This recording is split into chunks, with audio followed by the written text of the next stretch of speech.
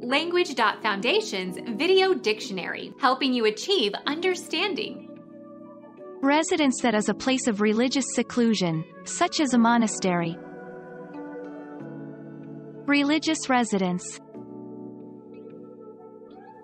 A courtyard with covered walks, as in religious institutions. Seclude from the world in or as if in a cloister. She cloistered herself in the office.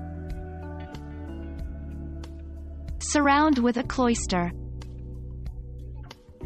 Cloister the garden.